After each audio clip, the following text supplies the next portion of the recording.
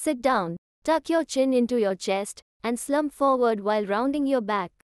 The spinal joints are stretched with this exercise.